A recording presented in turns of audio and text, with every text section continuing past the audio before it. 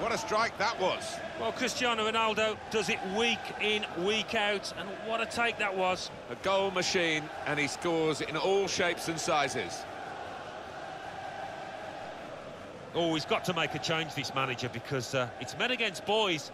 He needs to give them a lift, a substitution, I would imagine.